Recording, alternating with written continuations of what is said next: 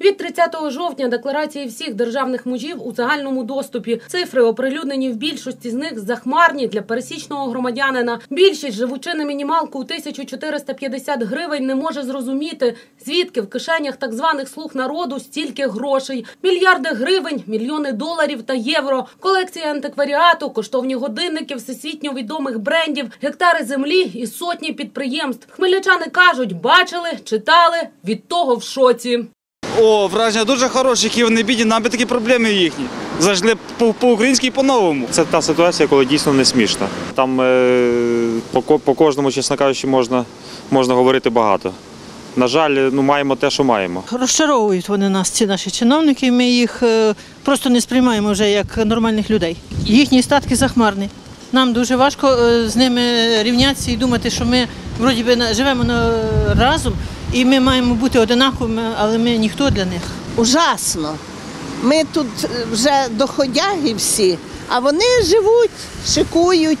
Шок, конечно. Даже себе представить, посчитать эту сумму, это очень тяжело, конечно. Это вообще несравнимо. Это два государства, два мира вообще. Две параллели и две реальности.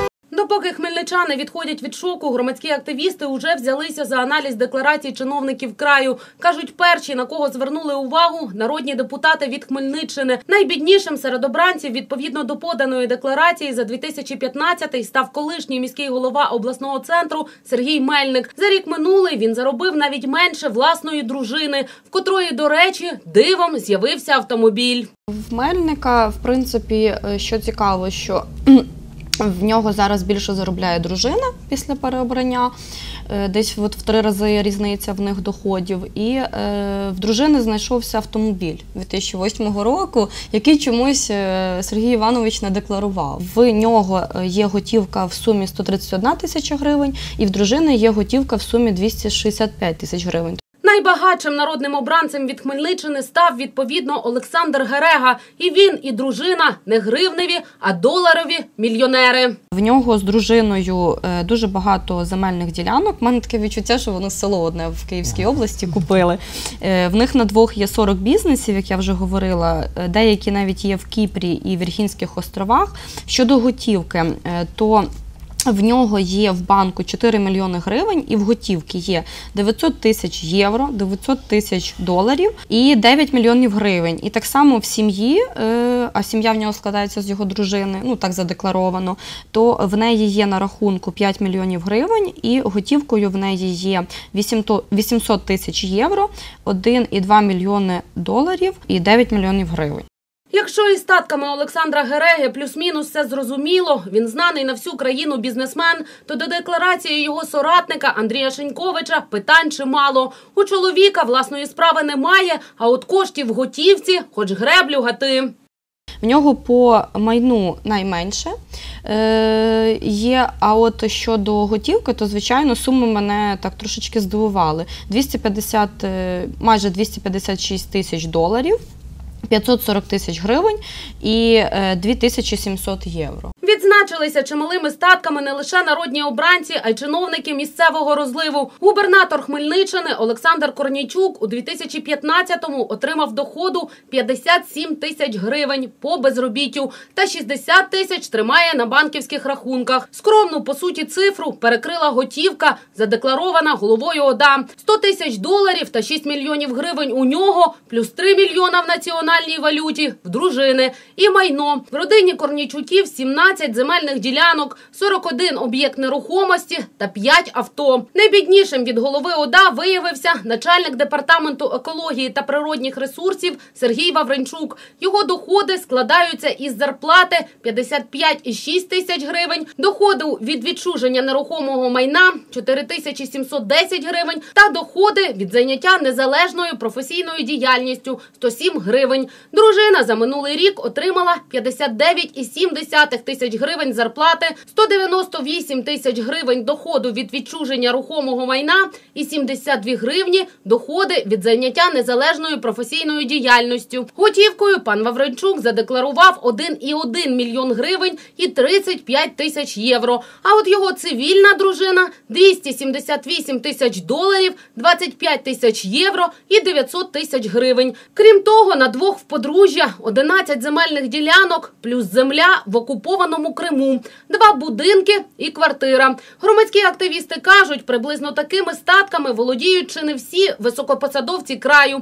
Додають, наразі активно аналізують декларацію кожного, порівнюють із тими, котрі чиновники подавали у паперовому вигляді минулоріч. Озвучити все, що знайшли, обіцяють незабаром. Адже у політиків є сім днів на підчистку декларацій. Громадські активісти переконані, їхнє бурхливе обговорення сьогодні лише зіграє на руку чиновникам. З першого числа, як ви вже вірно сказали, багато громадських діячів, журналістів е, вивчають ці декларації, роблять статті, проводять ефіри і вказують чиновникам е, на той цинізм, на той фарс, який вони відобразили в своїх де- де- деклараціях. І вони тим самим їм допомагають підчистити їх за ці сім днів.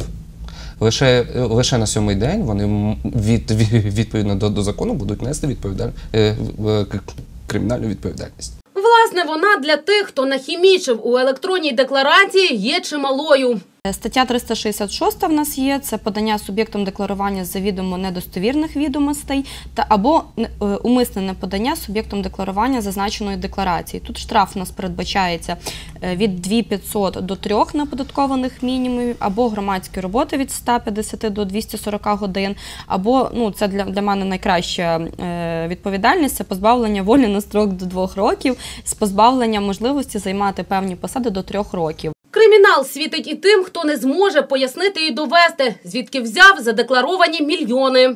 Якщо е, особа не зможе пояснити і підтвердити доказами е, походження своїх статків, або не може е, пояснити передачу цих активів іншій особі, то буде позбавлення волі на строк до двох років з конфіскацією майна і з позбавленням можливості займати тих же посад до трьох років. Активісти кажуть, щиро сподіваються на те, що у випадку, якщо факти чиновницького обману будуть виявлені, чи національним антикорупційним бюро, чи громадськістю, хтось таки понесе відповідальність і кримінальну, і політичну, бо переконані, із заробітчанами владі давно треба прощатися. З такими людьми треба прощатися. Маємо це- має прийти хвиля, хвиля очищення від них. От і маємо набрати нов нових людей, принципових, від, відповідальних. Державна служба. І туди йдуть люди служити. В них має бути від, від, відчуття, що вони роблять якусь гарну справу. А ми маємо, що люди з бізнесу, які звикли заробляти гроші, йдуть у владу і продовжують так само думати. Оксана Чушкіна, Ігор Павлюк. Підсумки тижня. Телеканал Ексклюзив.